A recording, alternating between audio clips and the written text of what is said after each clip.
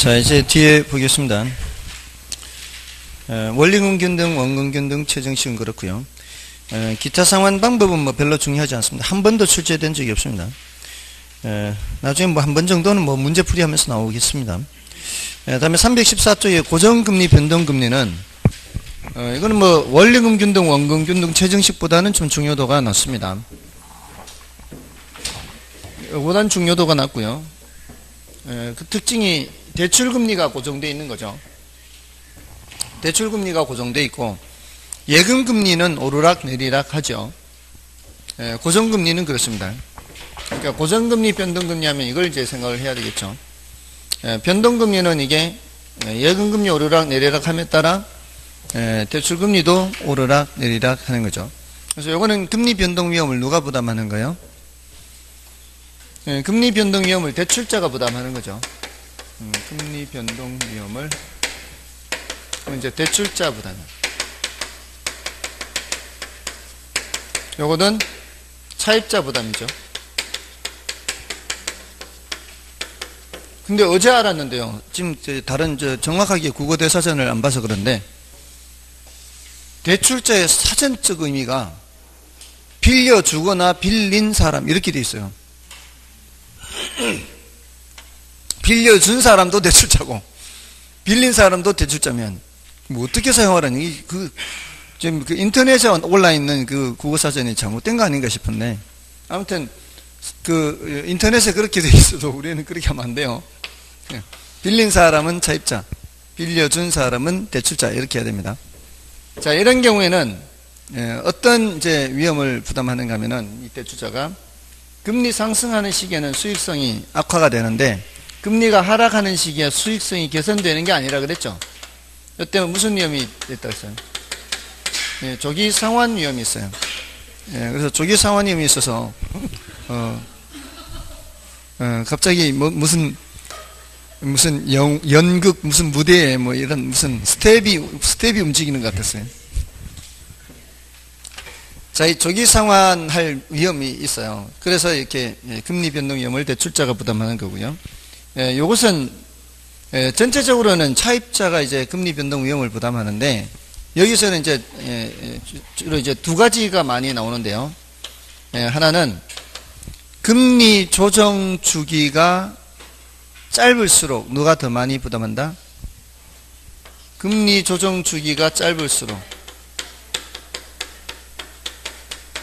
짧을수록 누가 더 많이 부담하는 거예요?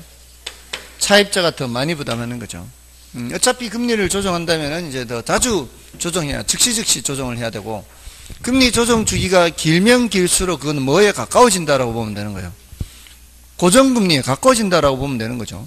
예, 10년마다 금리 조정하겠다. 이건 뭐, 안 하는 거나 다름없잖아요. 10년 만기 대출 받는 거나 똑같은 거 아니에요. 뭔 뜻인지 아시겠죠? 금리 조정 주기를 길게 해보세요, 길게. 길게 해보면, 아, 이게 고정금리에 가까워지는구나. 그러면 대출자가 더 부담이 되겠구나. 이렇게 반대로 생각하면 되니까. 이렇게 조정을 해보면 되죠, 이렇게. 맞나요? 그러니까 그 생각을 안 하고 사람들이 그냥 단지 외우려고만 하니까, 예, 어려운 거죠. 예, 금리 조정 주기를 짧게 할수록 누가 부담한다? 차입자가 부담한다. 그러면 여기에서는 전반적으로는 대출자 입장에서 유리한데 이것도 치명적인 단점이 있다 그랬죠. 어떤 단점이 있다 그랬어요? 금리가 상승하는 시기에 상승하다 보면 어떻게 해요? 차입자가 채무 불이행할 수 있죠. 금리 상승 시기에 차입자의 무슨 위험? 채무 불이행 위험이 있죠. 이게 큽니다. 그러니까 이 조기 상환 위험은 고정금리 하에서 금리가 하락할 때 나타나는 거고요. 조기 상환 위험. 조기 상환 위험이든 채무 불이행 위험이든 누가 다 부담하는 위험이에요. 다 대출자가 부담하는 위험이에요. 다 대출자가 조기상환 하든 예, 이 채무 불이행 하든 다 대출자가 부담하는 위험인데 조기상환 위험은 주로 어디서 나타나고요? 고정금리 하에서 시장금리가 내려갈 때 나타나는 현상이고 채무 불이행 위험은 변동금리 하에서 시장금리가 올라갈 때 나타나는 현상이다 이 말이에요. 됐나요? 자, 이런 거고요. 예, 그래서 이 금리 상승의 상한을 정하기도 해요. 금리 상승의 상한을 정하게 되면은 예, 금리 상한 이상으로는 안 올라가죠. 여기서 올라가다 여기서 멈춰 이렇게 가다 내려가는 거예요. 이렇게 이렇게 이렇게. 이러면 누가 유리한 거예요? 차입자가 유리하죠. 예, 돈 빌린 사람이 유리죠. 더 이상 안 올라가니까. 그죠? 근데 이렇게 하면은 차입자가 유리하기 때문에 처음에 출발할 때 이 마진을 좀 폭을 높여요. 출발할 때 마진을 좀 높여서 상한이 없을 때는 요 마진으로 이렇게 가는데 상한이 있으면 마진을 좀 더 높여서 간다고 이렇게. 이렇게. 뭔 뜻인지 아시겠어요? 음, 그만큼 에, 뭐, 뭐든 give and take, give and take. 음, 사람 사는 건 다 give and take죠. 어느 한쪽이 주기만 할 수는 없고 받기만 할 수 없는 거죠. 예, 아무튼 금리 상승의 상한을 설정하기도 한다. 이렇게. 자, 이 정도입니다. 그리고 우리나라에서 변동금리는 어떻게 책정을 해요? 예, 변동금리는 코픽스 지수를 사용한다 그랬죠. 예, 변동금리는 코픽스 지수를 사용해서 이제 기준금리가 코픽스 지수죠. 여기다 이제 가산금리를 다는데 시중은행연합회에서 어, 예금 상품들의 가중평균 금리를 말해요. 그러니까 예, 평균적인 예금 금리라 보시면 돼요. 이게 평균적인 예금 금리고 거기에다가 이제 마진을 붙이는 거잖아요. 그래서 이게 이제 대출 금리가 되는 거지. 이게.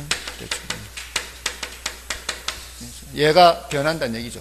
그러니까 기준 금리를 그 기준 금리가 바뀌면 대출 금리도 바뀐다. 이렇게. 자, 이, 정, 이 정도면 됐고요. 자, 이제는 넘어가셔서 이제 유동화를 보겠습니다. 유동화. 저당 유동화예요.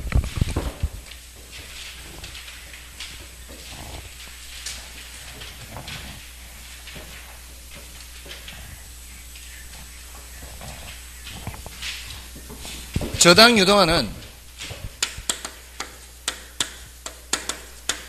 번역을 잘 해야 되죠. 저당 채권을 유동한다. 이렇게. 저당 채권을 유동한다 그러죠. 저당 채권은 뭐를 저당 잡은 거예요? 주택을 저당 잡은 채권이죠. 주택을 저당 잡은 채권을 음, 유동화한다는 것은 현금화한다 이렇게 생각하시면 돼요. 그러니까 이 개념, 구조, 효과, 그 다음에 그걸 통해 발행하는 증권. 자, 이 증권이 좀 난이도가 높아요. 여기까지는 그렇게 어렵지 않은데 예, 증권이 난이도가 좀 높으니까 이걸 좀 주의를 하셔야죠. 자 일단 예, 이, 이 저당 유동화 제도가 도입된 거는 IMF 때 1차 금융기관이 예, 여기 차입자들한테 대출을 해주면 돈이 넘어가면서 이제 채권을 갖게 되겠죠. 1차 금융기관이. 그러니까 IMF 직전에 이 집 사느라고 사람들 많이 대출받았단 말이에요. 근데 IMF가 터지면서 금리가 어떻게 금리가 막 올라가니까 이제 문제가 생기는 거죠. 사람들 막 시장 돈이 막 급하고 이렇게 은행에 돈이 부족해지는 거죠. 은행에 돈이 다 빠져나가고 예금주들 예금 차주로 막 달려오는 거죠. 음, 위험하다고 생각하니까 예금주들이 예금해놨던 거 예금 차주로 달려오는데 돈은 이미 여기 대출을 다 해놓고 회수가 돼야 안 돼요. 회수가 잘 안 돼요. 어, 이, 뭐, 이, 다 쓰러지고 막 이러니까. 그러니까 예금주들이 찾아왔을 때 돈을 못 주니까 은행은, 음, 쓰러지는, 파산하는 거죠. 자, 그래서, 어, 그때 은행, 은행 들이 엄청 많이 쓰러졌잖아요. 그래서 앞으로 그런 일이 생기지 않도록 하기 위해서 자, 1차 금융기관이 갖고 있는 채권을 팔아서 현금을 마련할 수 있도록 한 거예요. 에, 근데 그 당시에는 이 채권을 사줄 누군가가 없었던 거죠. 에, 그래서 어, IMF 이후에 2차 금융기관을 만든 거예요. 그래서 한국주택금융공사가 그 역할을 해요. 한국주택금융공사나 유동화 전문회사라는 데서 예, 이 채권을 사주는 거죠. 채권을 사주면 그 반대 방향으로 뭐가 넘어가요? 이 대금이 넘어가죠. 채권을 양도한다 그래요. 양도. 채권을 양도한다. 그럼 채권을 양도하고 돈이 넘어가고요. 그게 이제 뭐예요? 유동화되는 유동화. 예, 이거는 현금화, 현금화. 저당 채권을 현금한다. 누가 갖고 있는? 은행이 갖고 있는 채권을 팔아서 현금 마련하는 걸 뭐라고 한다? 유동화, 유동화. 자, 근데 이제 문제는 얘네들이에요. 2차 금융기관. 얘네들은 계속 채권을 사주다 보면은 엄청난 규모의 채권 집합을 갖게 돼요. 엄청납니다. 갖고 있는 게. 자본금만 50조예요. 예, 근데 그것도 얼마 안 돼요. 왜냐면은 전체 우리나라 주택담보대출 규모가 1200조인데. 예, 지금 엄청납니다. 지금 주택담보대출 규모가. 자, 그러니까 갖고 있는 돈 금방 다 없어지고요. 뭐를 갖게 돼요, 얘네들이? 채권을 갖게 되겠죠. 예, 이건 뭔, 뭘 의미하는가 하면은 채권 채무 관계가 누구예요? 채권 채무 관계가 누구였었어요, 원래? 요 1차 금융하고 이렇게. 예, 요 채권 채무 관계인데 이제 넘어, 넘어갔으니까 채권자가 누가 채권자예요? 예, 2차 금융기관이 채권자가 됐죠. 음, 얘가 이제 채무자고, 얘는 중간에 이제 빠진 거죠. 예, 그렇지만 원리금은 여기 다 넘겨줍니다. 음, 전달은 해줘요. 전달은. 그러니까 수수료만 떼고 넘겨줘요. 예, 조금의 수수료. 예, 근데 이제 어, 얘가 채권자가 됐는데 얘가 이제 원리금을 받잖아요. 근데 문제는 얘도 돈을 마련해야 또 계속 사줄 수 있을 거 아니에요. 그러니까 얘가 돈을 어떻게 마련하느냐 말이죠. 얘가 돈을 마련할 때 증권을 발행, 증권을. 그러니까 이게 증권을 사는 사람들을 투자자라고 하는데 증권을 만드는 이유가 덩치가 너무 크거든요, 이게. 엄청난 규모잖아요. 그래서 이 엄청난 규모인데 만기 10년짜리는 10년짜리 끼리, 만기 15년짜리는 15년짜리 끼리 이렇게 채권의 그 종류별로 묶어요. 비슷한 것들끼리. 묶으면 요거를 패키지라고 해요. 패키지. 비슷한 것끼리 묶은 거. 이걸 패키지를 하는데 그 패키지로 이렇게 비슷한 게 묶어도 수천억이에요. 한 묶음이. 한 묶음이 수천억이 수천억. 그만큼 규모가 크다고요. 근데 그 규모가 큰 거를 누가 사주겠어요? 한 사람이. 한 사람이 사기에는 어렵잖아요. 예, 그러니까 증권의 형태로 이렇게 바꾸는 거예요. 이렇게 크기를 나눈 거죠. 예, 요거를 근거로 해서 증권을 만드는 거예요. 예, 이와 관련된 증권 이렇게 이거 이와 관련된 증권을 만들어서 예, 투자자들한테 매각을 하면 그 수익률이라는 게 있을 거 아니에요. 증권 수익률. 그 증권 수익률이 괜찮으면은 예, 그 대금을 이제, 사, 겠죠 사면 그 산 돈이 이쪽으로 넘어오는 거죠. 그러면은 이제 예, 다시 또 사주고 사주면 채권을 사주면은 돈이 넘어가고 그럼 대출을 계속 해줄 수가 있는 거죠. 이론적으로는 계속 이제 무한히 예, 갈 수는 있는 거죠. 현실적으로 이제 중간에 비용이 발생하니까 그렇지는 않고요. 에, 현금화 또는 증권화를 포함해서 얘기를 하게 돼요. 현금화 또는 증권화. 그러니까 현금화하는 요 채권을 현금화하는 과정뿐만이 아니라 증권화하는 과정이 있어야 계속해서 돈이 이쪽으로 넘어오기 때문에요. 자, 요게 이제 개념인데 요거를 어려운 표현으로 신용창조 이런 말을 쓰기도 해요. 신용창조. 현금을 만든다 이런 의미예요. 예, 새로운 현금이 만들어진다 이런 의미를 갖고 있어요. 신용 창조의 수단으로 삼는다 이렇게. 자 여기서 구조는 개념은 그렇고요. 구조는 1차 저당 시장, 2차 저당 시장 이렇게.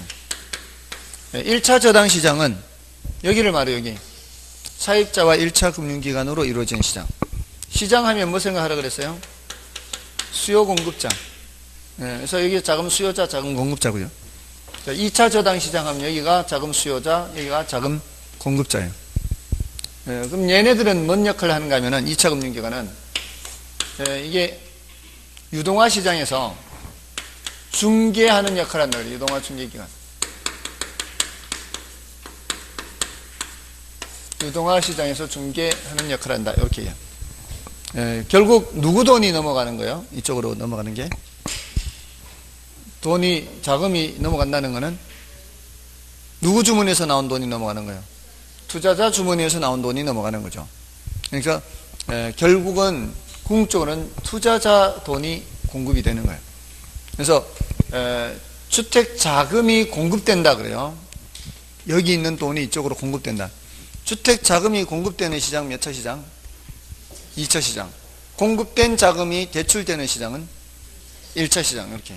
저당 채권이 유동화되는 시장은 몇 차 시장? 2차 시장. 예, 저당 채권이 형성되는 시장은 1차 시장. 그러니까 반대쪽으로 생각하면 되는 거죠. 대출이 될 때 반대쪽으로 채권이 만들어지는 거고요. 유동화가 될 때 자금이 공급되는 거죠. 맞나요? 채권이 유동화될 때 이쪽으로 넘어갈 때 현금화가 될 때 이쪽으로 돈이 넘어가는 거예요. 맞나요? 반대쪽으로 생각하는 거죠. 대출이 이루어질 때 채권이 형성되고. 그렇죠? 저기 여기 이제 1차 시장, 2차 시장이에요. 예, 그리고 요 1차, 2차라는 말하고 요거 하고 헷갈리면 안 되죠. 1차 금융기관이고 얘는 2차 금융기관이고 1차 시장이고 2차 시장이죠. 그래서 1차 시장에서는 얘네들이 등장해야 하네요. 등장하지 않으니까 얘네들은 1차 시장과는 아무 관계 없다. 직접적인 관계 없다. 직접적인 관계. 여기서는 음, 차입자가 등장하지 않죠. 차입자는 2차 시장과는 직접적인 관계가 없다. 이렇게. 시장의 등장인물이 아니기 때문에. 시장의 등장인물이 아닌 것은 직접 관계가 없는 거죠. 2차 시장과는 직접 관계가 없다. 이렇게. 됐나요? 자, 이게 이제 구조입니다. 그 다음에 이제 효과는, 예, 우리나라는 얘 때문에 도입됐거든요. 1차 금융기관. 1차 금융기관의 뭐를 높여주기 위해서? 예, 유동성을 높여주기 위해서. 요거를 통해서 현금화하기가 쉬워지죠. 현금화하기가 쉬워지는데, 자, 1차 금융기관이 이 채권을 반드시 팔아야 되나요? 반드시 팔아야 되는 것은 아니죠. 1차 금융기관에 이거 팔아버리면 수익이 없잖아요. 1차 금융기관의 수입원이 바로 뭐예요? 이자 수익이잖아요. 금융기관이 돈놀이 하는데 안 해요. 돈놀이 하려면 채권을 갖고 있어야 되겠죠. 채권을 갖고 있어야 이자를 받을 거 아니에요. 근데 채권을 팔아버리면 이자를 가질 수가 없죠. 대신 수수료는 가질 수 있는데 수수료는 얼마 안 된단 말이에요. 수수료 수입은 부수입인 거지. 부수입이 얼마 안 되는 거죠. 그러니까 얘네들은 평소에는 갖고 있다가 이자 수익 얻다가 어떤 때만 팔면 되는 거예요. 돈이 부족할 때. 그러니까 돈이 부족할 때 팔면 된다 이 말이에요. 근데 옛날에는 돈이 부족하더라도 이거 살, 팔 수가 없었잖아. 이런 게 없었으니까. 근데 이제는 언제든지라도 돈이 부족하면은 팔 수가 있잖아요. 그러니까 유동성이 높다라는 얘기는 언제든지 현금화하기가 쉬워졌다 이런 의미죠. 유동성이 높아졌다. 현금화하기가 쉬워졌다. 이런 의미고요. 이거는 이제 국제결제은행 기준 BIS 비율을 높인다 이렇게도 얘기해요. 예, 국제결제은행 기준 BIS 비율은 예, 이게 이제 위험자산분의 자기자본 이렇게 위험자산분의 자기자본 위험자산분의 자기자본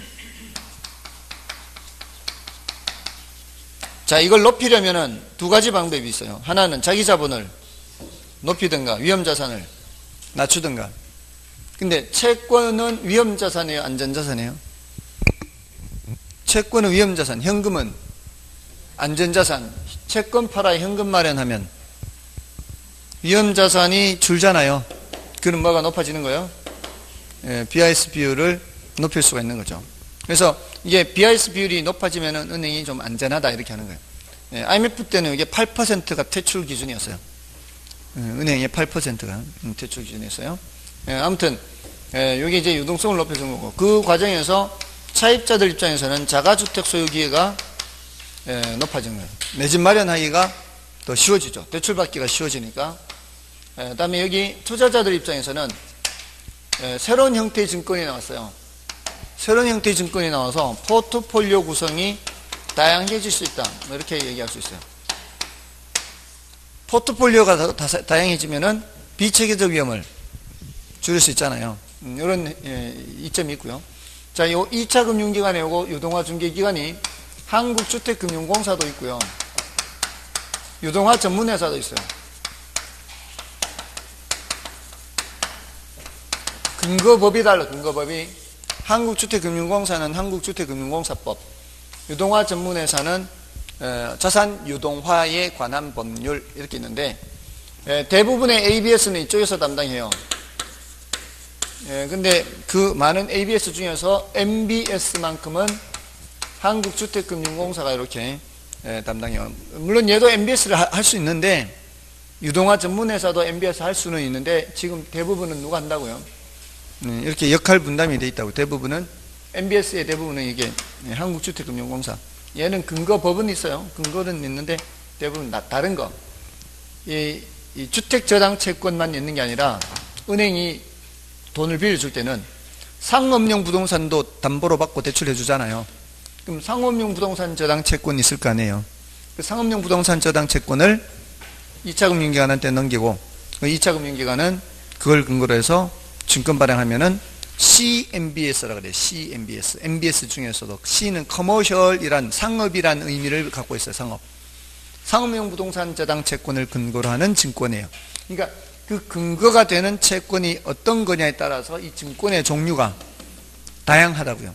그러니까 auto loan 증권도 있어요. 자동차 대출 채권. 캐피탈사 있죠. 음, 뭐 오토론 증권도 있고 또 학자금 대출 채권 있잖아요. 음, 학자금 대출 채권을 근거로 해서 발행하면 SLBS다 그래요. Student Loan이에요. Student Loan. SL. Student Loan. 자, 이런 다양한 걸 전부 다 ABS라고 하는데 그 중에 한국주택금융공사는 어디에 초점을 맞춘다고요? MBS에 초점을 맞춘, 맞춘다고요. 자, 그런 그 그걸 발행하는 이제 한국주택금융공사 입장에서는 공기업이죠 이게. 한국주택금융공사는 공기업이기 때문에 국가 정책적 효과를 얻을 수가 있어요. 지금 경기가 많이 안 좋다 그러면 어떻게 경기를 좀 부양시켜야 되죠. 그럴 때는 좋은 조건으로 채권을 많이 사줘요. 그러면 돈이 많이 넘어가겠죠. 그럼 대출이 더 쉽게 이루어지겠죠. 그럼 약간 이제 경기를 올릴 수가 있고요. 너무 과열이다 그러면 채권을 안 사주는 거죠. 채권을 안 사주면 돈이 안 넘어가겠죠. 그래서 이 여기서는 이제 공기업에서 경기를 안정화시킬 수 있는 이런 이제 이점도 있다는 거죠. 자, 이게 이제 효과에서 하는 얘기예요. 그러니까 효과는 요 효과는 구조는 1차 시장, 2차 시장. 효과는 주체별로 보는 겁니다. 주체별로. 주체별로 보는데 1차 금융기관 입장에서 우리나라는 얘 때문에 도입됐다 이렇게 보시면 돼요. 은행들의 유동성을 높이기 위해서 도입되는 거예요. 우리나라는. 자, 이게 이제 여기까지는 그나마 좀 괜찮아요. 이제 이제가 문제 이제 지금이 예, 이제 유동화 증권을 해 증권. 예, 증권이 제일 골치 아파요. 그래서 이 예, 그 326조까지는 괜찮아요. 327쪽이 이제 저당 담보 증권. 자, 요게 이제 예, 문제입니다. 문제. 자, 증권을 해야 돼요.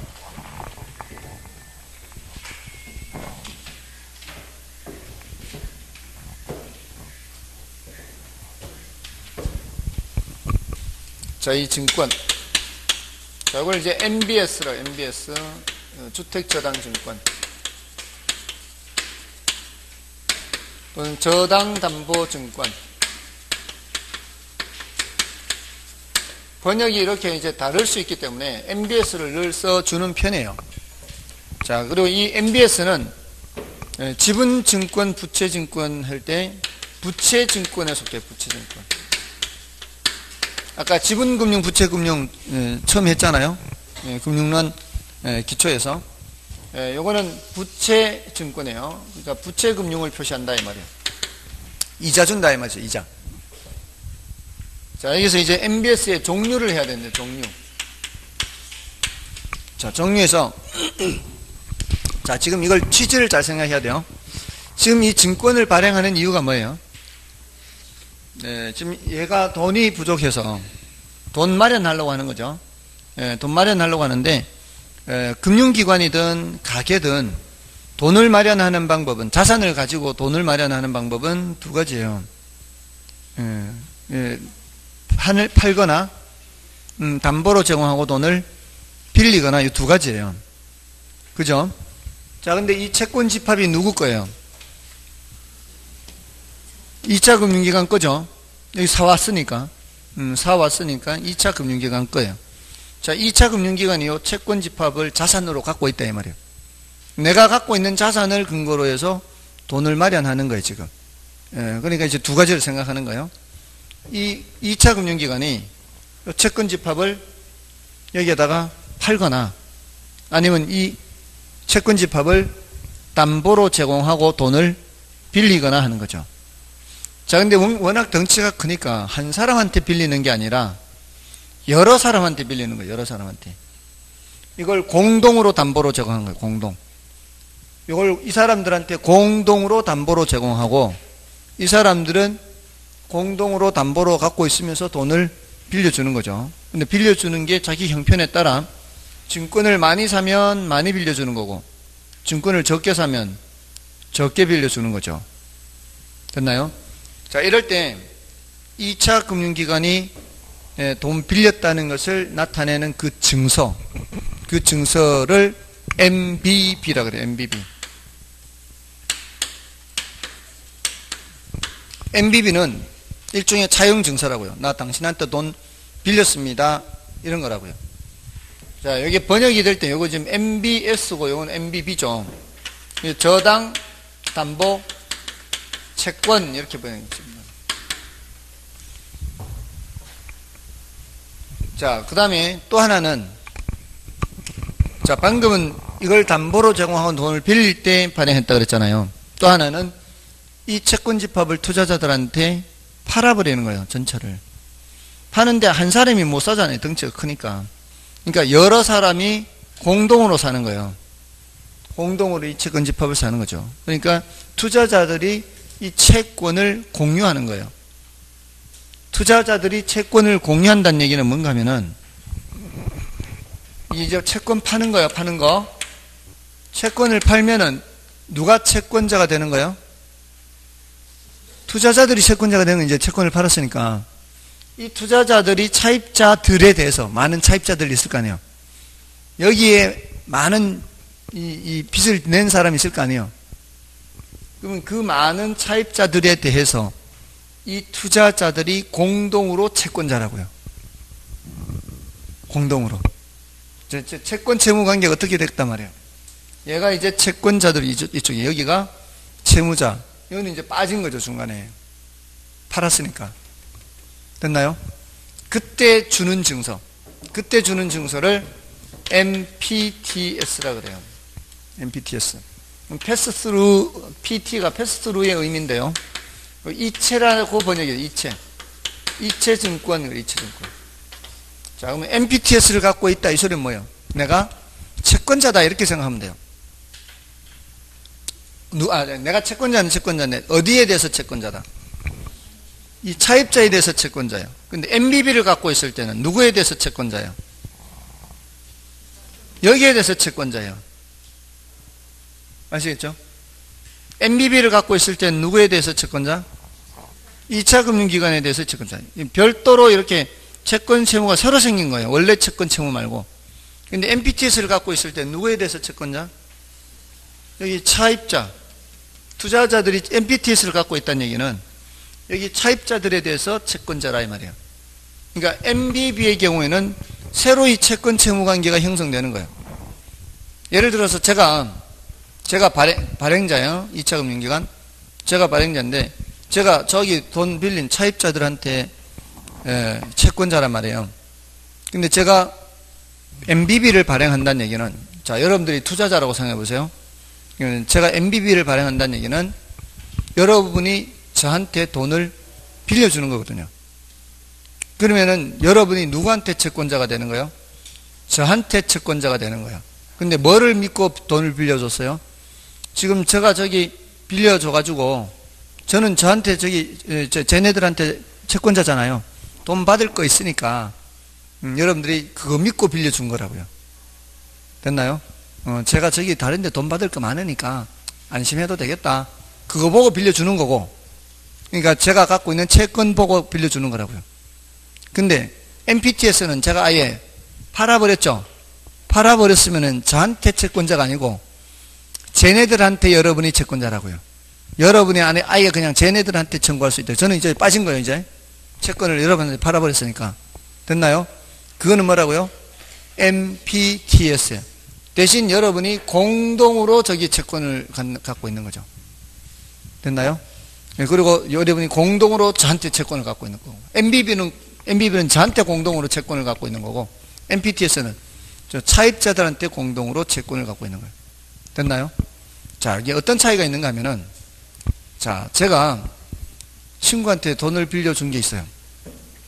여러분, 제 친구예요. 또, 여러분도. 저 친구도 알고 있어요. 저 친구한테 돈을 빌려줬는데, 여러분이 그거를 알고, 아, 믿고서, 저기 돈 받으면 갚겠지. 하고 저를 돈을 빌려줬어요. 요때는 MBB예요. 음, 이때는. 자, MBB는 여기 채권 채무하고 여기 채권 채무 두 가지의 채권 채무 관계가 있다고요. 됐나요? 그 상황에서 저기 친구가 돈을 안 갚아요. 자, 그래서 제가 여러분한테 가서 여러분들 받지 마세요. 하면 돼요, 안 돼요? 그러면 안 된다고요. 저기서는 돈을 안 갚아도 저는 갚아야 되는 거죠. 이 채권 채무에서는 제가 못 받아도 여러분한테는 제가 갚아야 돼요. 이 MBB는 그렇다고요. 그리고 저쪽에서는 일찍 갚아도 일찍 갚아도 저는 일찍 갚지 않고 그냥 꼬박꼬박 갚아야 돼요. 이게 뭐라고요? MBB예요. 됐나요? 자, 근데 MPT에서는 제가 아예 팔아버렸잖아요. 팔아버렸으니까 이제 여러분들이 누구에 대해서 채권자요? 저기 채권자, 저 채권을 팔아버렸으니까. 근데 원리금이 전달돼서 여러분한테 전달해 주는 거는 제가 계속 역할을 한단 말이에요. 자, 그러니까 저기서 돈이 한꺼번에 많이 넘어왔어요. 그럼 어떻게? 한꺼번에 다 드리면 되는 거지. 이렇게 나눠 드리는 거 되는 거예요. 돈이 안 넘어와, 어떻게? 안 주면 되는 거지. 그러니까 MPT에서는 제 입장에서는 그냥 복장 편하게 된 거죠. 다 팔아버렸으니까. 그러면서 이렇게 수수료 떼고 이렇게 넘겨만 주면 되는 거예요. 맞나요? 근데 MBB는 어때요? 제가 부담을 다 해야죠. 자, 그러니까 그만큼 수익률을 높게 줄 수가 없어요. MBB를 발행했을 때는 여러분한테 수익률을 높게 줄수 없다고요. 됐나요? 자, 그 가장 그 차이를 생각하시면 돼요. 자, 그러면 여기 여기 자, 이걸 이제 뭘 많이 묻는가 하면 여기서 채권 집합의 소유권을 많이 물어요. 채권 집합 소유권 누구한테 있냐? 이 채권 집합이 뭘 말하는 거예요? 이거 말하는 거. 채권 집합 소유권이 MBB의 경우는 누구한테 있어요? 저한테 있는 거죠. 음, 그거 믿고 여러분이 돈 빌려줬잖아요. 그러니까 이게 발행자 그래, 발행자. 발행자라 그래요. 예, 왜냐면은 여기 지금 제가 요 짧게 그렸잖아요. 짧게 그렸죠? 이거 왜 짧게 그린지 한 번도 궁금해 한 적 없어요. 여기서 바로 1차 금융기관이 바로 양도를 할 수도 있고요. 1차 금융기관이 증권을 발행할 수도 있어요. 이론적으로. 우리나라는 이렇게 하는데 미국은 1차 금융기관의 규모가 커요. 규모가 크기 때문에 규모가 큰 1차 금융기관의 경우에는 바로 이렇게 증권을 발행할 수가 있어요. 우리나라는 금융기관이 적기 때문에 그 뭐 국민은행, 국민은행, 뭐, 뭐, 뭐 신한은행 이런 은행들이 이런 업무를 할 수가 없어요. 너무 규모가 적어서. 다 모아야지. 모아가지고 해야지. 예, 금융기관에 하나가 이거 할 수 없어요. 됐죠? 그래서 지금 이 채권 집합의 소유권을 여기 누가 갖고 있다? 발행자가 갖고 있다. 발행자. 근데 MPT에서는 어떻게 해요? 다 팔아버렸잖아요. 음, 다 팔아버리기 때문에 소유권을 투자자가 가져요. 자, 여기다가 원리금 수취권 하는 게 있어요. 원리금 수취권. 자, 원리금 수취권 이것도 MBB의 경우 는 누가 갖고 있고 발행자가 갖고 있고 여기는 투자자 다 갖고 가는 거예요. 그러니까 어, 모든 것을 다 발행자가 갖는 건 뭐고 MBB 다 넘겨준 거는 예, M, MPTS 다, 이 투자자에게 다 넘겨준 건 MPTS. 권리를 갖는다는 것은 그만한 위험도 부담해야 돼요. 채무 불이행 위험을 부담해야 돼요. 소유권을 갖고 있다면 채무 위험도 부담해야 돼요. 그러니까 MBB의 경우에는 누가 부담해야 돼요?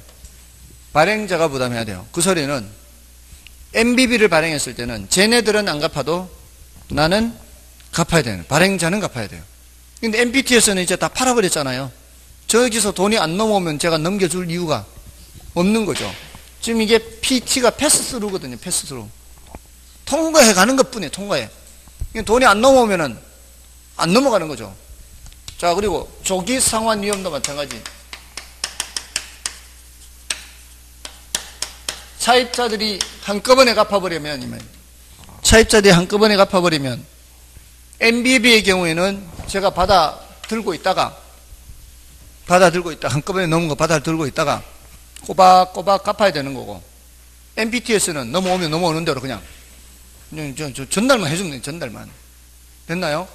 그러니까 어, MPTS의 경우에는 중간에 있는 얘네들은 뭐밖에 안 돼요. 그냥 통과하는 그냥 저 저거 예, 배수 뭐 뭐죠 배송관 그 수송관이라고 해야 되나 관 관밖에 안 돼요. 이게 머물러 있, 있지를 않아요. 머물러 있지 않고 그냥 패스 패스해서 다 넘어가 버리는 거예요. 근데 MBB는 아니죠. MBB는 그게 아니잖아요. 예, 한꺼번에 많이 넘어오면은 들고 있다가 예, 꼬박꼬박 갚아야 되고. 안 넘어와도 알아서 이렇게 넘어가야 되고. 됐나요? 자 그러니까 MBB는 수익률이 높겠어요? 낮겠어요? 수익률이 낮죠 안전한 만큼. 수익률이 낮아요. 수익률이 낮아요. 이거는 수익률이 높아요. 최소한의 수수료만 떼고 다 넘겨주니까 자 그 다음에 이제 조금 이제 어려운 표현인데요 뭐 그렇게 어렵진 않아요 초과 담보라는 말이 있어요. 초과 담보. 자, MBB를 발행할 때의 말이에요. 제가 MBB를 발행한다는 건 뭐예요? 여러분, 저 채권 갖고 있으니까 이, 이거 믿고 돈 좀 빌려주세요. 이렇게 한다고요. 그러면 채권 집합 총액이 이게 천억이에요. 자, MBB를 발행한다는 건 제가 여러분한테 뭐 한다고요? 돈을 빌리는 거라고 그랬죠. 자, 이럴 때 천억 빌려주세요 하면 빌려주시겠어요? 천억을 담보로 제공하면서 천억 빌려주세요 하면 안 빌려주겠죠? 여러분들 1억짜리 주택을 담보로 제공하면서 1억 빌릴 수 있습니까? 못 빌리잖아요. 그러면 한 800억이나 700억 빌려주시겠어요? 하면 빌려주시겠어요? 천억을 담보로 제공하고 그러면은 생각해 보겠죠. 그러니까 MBB를 발행할 때는 초과 담보액이 많이 설정돼 있어야 돼요. 많이 설정돼 있어야 돼요. 근데 MPT에서는 뭐라 그랬어요? 이거를 파는 거죠. 천억짜리, 천억, 천억짜리 채권 집합을 파는 거예요. 이제 MPTS를 발행한다는 거예요. MPTS 발행 총액. MPTS 발행 총액이 저당 채권 집합 총액과 같겠어요? 더 낮겠어요?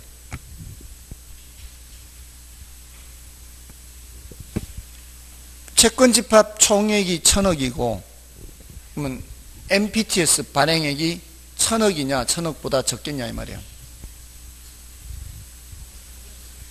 네? 여러분 집을 팔 때 1억짜리 집을 팔면 1억 받을 거예요? 9천만 원 받을 거예요?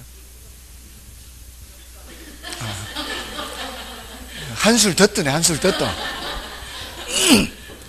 1억짜리 집을 팔면은 1억 받아야지 9천, 7천 이렇게 받으면 안 되잖아요. 예? 가액이 1억, 1000억이잖아요. 지금 총액이. 1000억짜리 채권을 팔면은 얼마를 받아요? 1000억을 받아야지. 그러니까 MPTS의 경우에는 채권 집합 총액과 MPTS 발행액이 똑같다고요. 초과담보 이런 말이 있을 이유가 없어요. 파는 거니까 초과담보 이런 말이 있을 이유가 없지. 맞죠? 근데 MBB의 경우에는 담보로 제공할 뿐이잖아요. 담보로 제공하고 돈을 빌린 거니까 천억을 담보로 제공하면서 초과 담보가 있어야죠. 1억짜리 집을 담보로 제공하면서 6천만 원을 대출받으면 초과 담보가 4천이에요. 1억짜리 집을 제공하고 8천만 원 대출받으면 초과 담보가 2천이라고요. 초과 담보가 많을수록 빌려주는 입장에서는 안전한 거라고요. 그러니까 MBB의 경우에는 초과 담보가 많이 있어야 여러분들이 살 거 아니에요. 혹시라도 얘네들 못 갚는 애들 있을 수 있잖아요. 얘네들 못 갚는 애들이 있어도 안전하게 상환이 될, 될 거 아니에요. 됐나요? 음, 물론 주택이 있어요, 주택이. 주택이 담보로 있기 때문에, 예, 주택이 담보로 있기 때문에 안전하다라고 생각할 수 있지만, 그건 알 수 없는 거잖아요. 주, 주택 가격이 떨어져 버리면 이렇게 회수가 예, 안될 수 있으니까. 됐나요? 자, 그 다음에 제일 어려운 거예요. 지금 여기까지는 시험에 나온 거거든요. 제일 어려운 건데, 요거는 이제 제일 어려운 만큼 중요도는 낮다고 보시면 돼요. 콜 방어예요, 콜 방어. 콜이 뭐예요, 콜? 부르는 거죠. 자, 투자자가 발행자를 부를까요? 발행자가 투자자를 부를까요? 저기 투자자가 발행자 와- 오라고 저기 투자자가 발행자 보고 오라고 발행자 보고 여기저기서 오라 그럴까요? 발행자가 투자자들 보고 오라는 거예요. 증권 갖고 있는 사람들한테. 증권 갖고 있는 사람들이 발행자 보고 오라 가라 할 수 없잖아요. 발행자 금융기관, 발행자 금융기관이 누구를 오라 그러는 거예요. 투자 증권 갖고 오세요. 이게 만기가 됐다는 얘기, 만기 되기 전이라는 얘기예요. 만기 되기 전이라는 얘기예요. 만기가 되면 끝난데 뭘, 관계가 끝나버리, 만기가 돼서 끝나면은 그냥 관계가 끝나버리는 건데 굳이 오라 마- 마라 할 피- 필요가 없잖아요. 콜을 한다는 얘기는 만기 전에 갖고 오란 얘기예요, 증권을. 그 소리가 뭔 소리예요? 우리 이제 관계를 끝냅시다, 이 소리예요. 만기가 되기 전에. 만기가 되기 전에 끝냅시다. 조기 상환이라면 조기, 조기에 종료합시다. 조기에 종료합시다. 근데 MBB의 경우에는 차입자들이 조기 상환을 해도 저는 갖고 있다가 꼬박꼬박 갚아야 된다 그랬죠. MBB의 경우에는 발행자가 콜을 할 수 있어요, 없어요? 콜을 할 수가 없어요. 이제 꼬박꼬박 갚아야 돼. 저, 여기서 조기 상환 해도 여기 조기 상환 안 된다 그랬지 않을까? 여기는 일찍 갚아도 저는 일찍 못 갚고 그냥 갖고 있는 거 꼬박꼬박 줘야 된다 그랬잖아요. 콜 할 수 있어요, 없어요? MBB는 콜을 못 한다고 그게. 그게 콜을 못 한다는 뜻이에요. 꼬박꼬박 줘야 된다는 소리가. 꼬박꼬박 줘야 된다. 이 콜을 못 한다. 이거를 투자자 입장에서는 방어한다 그래요, 방어. 콜은 발행자가 하는 거고, 방어는 투자자가 하는 거라고요. 됐나요? 콜은 누가 하는 거고, 투자자가 하고, 콜 방어는, 콜은 발행자가 하는 거고, 콜 방어는 누가 하는 거예요? 투자자가 하는 건데, MBB의 경우에는 투자자가 방어할 수 있다, 없다? 투자자가 콜 방어를 할 수가 있다요. 투자자, 발행자 입장에서는 콜을 못하는 게 이 말이에요. 발행자 입장에서 콜을 못하는 게 투자자 입장에서는 방어를 한다 이 말이에요. 방어를. 됐나요? 콜에 대해서 방어한다 이 말이에요.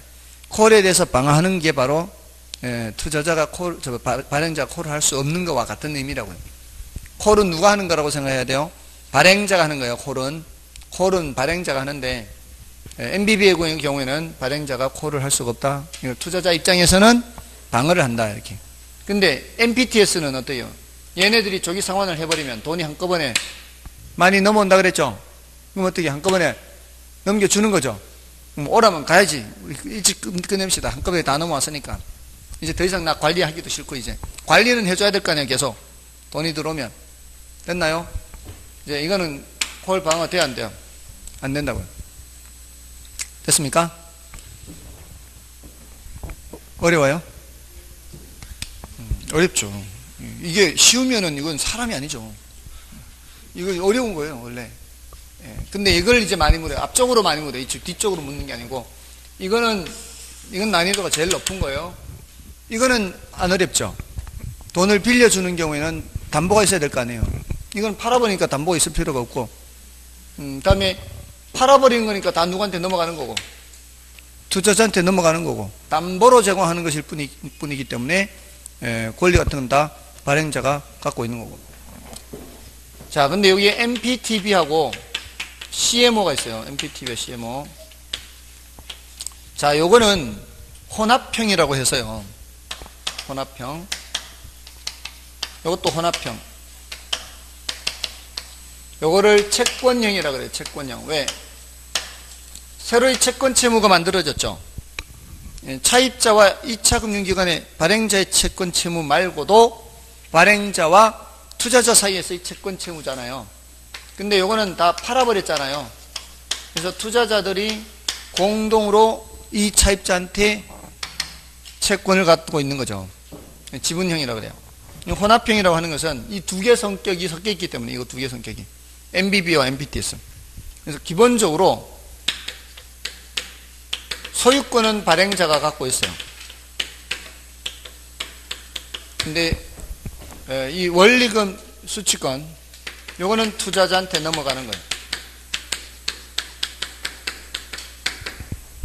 거예요. 요거를 요거를 이체 채권이라고도 하고요. 이체 채권. 끝, 끝을 잘 보면 돼, 끝을. 증권으로 번역되는 거는 요거 S예요. 채권으로 번역되는 거는 요거 B예요, B. 근데 요거는 이제 obligations란 단어인데 요것도 번역을 뭐 채권, 증권 다 하는데 예, 다계층 얘는 이제 특히 다계층 채권 그래 다계층 채권 예, 지금 표현이 채권으로 된다는 얘기는 기본적으로는 돈을 빌리고 빌려주는 관계예요 돈을 빌리고 빌려주는 관계 그래서 채권 이렇게 표현하는 건데 예, 요거는 발행자가 소유권을 갖고 있다는 얘기는 채무 불이행을 부담한다는 얘기예요 얘네들이 혹시라도 안 갚는 거에 대해서는 누가 책임지는 거예요? 얘네들이 혹시라도 안 갚는 거에 대해서는 이 발행자가 책임지는 거예요. 근데 혹시라도 얘네들이 조기 상환할 수 있잖아요. 조기 상환하는 거는 다 먹고 가져가야 돼요. 일찍 종료될 수는 있다고요. 만기 전에 종료될 수 있는 거는 그런 위험 부담은 누가 안고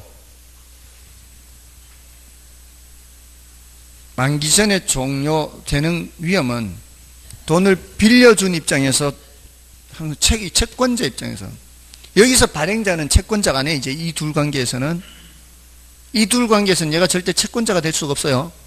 이 둘 관계에서는 얘가 채권자면 채권자지. 조기 상환 위험은 항상 빌려준 쪽에서 맞는 위험이라고요. 그러니까 원리금을 받아갈 수 있는 권리를 갖고 있다는 얘기는 조기 상환 위험도 가져가야 된다 이, 이 소리예요. 그러니까 여기서 만기에 조기 상환을 하게 되면 이 말이에요. 여기서 조기 상환을 하게 되면은 누구도 조기 상환 해야 된다고요? 투자자들도 조기 상환 받아야 돼요. 그 위험을 떠넘길 수 있다고요. MBB의 경우에는 얘가 조기 상환 하더라도 얘는 조기 상환 못 한다 그랬잖아요. 응, 그 위험을 얘가 부담하고 있어야 된단 말이에요. 일찍 받아가지고 꼬박꼬박 이렇게 넘겨줘야 된단 말이에요. 근데 이제는 조기 상환하는 거는 그냥 패스하면 되는 거예요. 근데 얘네들이 안 갚는 거에 대해서는 얘가 책임져야 된다고요. 이제 나눠 갖는단 말이지. 발행자와 투자자 이렇게. 그래서 기본적으로 이렇게 생각하시면 됩니다. 기본적으로 채권 집합의 소유권은 누구한테 있다? 발행자한테 있는 거예요. 기본적으로 이제 채권으로 번역된다는 얘기는 기본적으로는 돈을 예, 빌린다라는 거예요. 기본적으로는 소유권을 갖고 있으면서 다만 MPTS는 모든 걸 다 싹 넘겨줘 버렸기 때문에 다 투자자한테 넘어간 거예요. 됐나요? 그래서 어, 이렇게 기억하되 이제 제일 중요한 거. 그 다음에 이제 채권형이냐, 지분형이냐, 혼합형이냐. 이거는 이제 MBB 채권으로, MBB는 채권형이고, 얘네들이 채권으로 나, 오더라도 혼합형인데, 요거 보면은 또 쉽게 알 수 있어요. 이게 비록, B자, B. B는 발행자, 비읍이 비읍. 요 T 있죠, T. T의 투자자. 요 T도 있고 B도 있잖아요, 여기. 요 투자자, 발행자. 혼합형. 됐나요? MBB 발행자 예, 발행자가 모두 다 갖고 있고 MPTS 투자자가 모두 다 갖고 있고 MPTB 혼합형 T도 있고 B도 있으니까 CMO도 혼합형 됐나요? 예, CMO를 이제 다계층 채권이라고 하는 것은 만기가 다양하게 되어 있기 때문에 그래요. 만기가 1년짜리, 3년짜리, 5년짜리, 7년짜리, 10년짜리 만기가 이렇게 다양하게 되어 있어요. 이런 거를 트렌치라 그러는데 이게 제일 먼저 얘한테 원리금을 줘요. 만기 1년짜리. 얘네들은 이자만 줘요. 얘는 이자도 안 줘요. 1년 되면 얘 이제 원리금 다 먹고 종료됐죠? 그 다음에 누구한테 원리금 줘요? 얘한테 원리금 줘요. 나머지는 이자만 주다가 얘는 이자도 안 줘요. 자, 이거를 맨 끝에 있는 얘를 Z 트렌치라 그래요. Z 트렌치. 자, 그래서 원리금이 어떻게 지불되고 있어요? 원금 상환은 이자는 주더라도 얘는 이자도 안 받고 원금 상환은 순차적으로 원금 상환이 여러, 여러서 다 계층이라 여러 계층으로 돼 있다. 자 여기서 얘네들이 우선순위가 어, 어, 먼저에 먼저 선순위요 선순위 만기가 짧은 게 이 사람이 회수가 되지 않은 상태에서 얘가 회수될 수는 없어요. 얘가 회수되지 않은 상태에서 얘가 회수될 수가 없어요. 그래서 중간에 혹시라도 사고가 터져버리면 어떻게 사고 터져버리면 뒤는 못 받을 수 있어요. 위험하겠죠. 음, 수익률이 높습니다. 선순위 증권은 수익률이 낮아요. 예, 수익률이 높고 안전하고 위험하고 선순위 증권, 후순위 증권, 선순위채, 후순위채 들어보셨어요? 후순위채 들어보셨나요? 옛날 부산저축은행 후순위채 사건 뭐 해가지고 후순위채가 뭔가 하면은 여러분들 1저당, 2저당은 아시나요? 민법에서 1저당, 2저당 아세요? 1저당은 뭐예요? 민법 안 하나요, 혹시?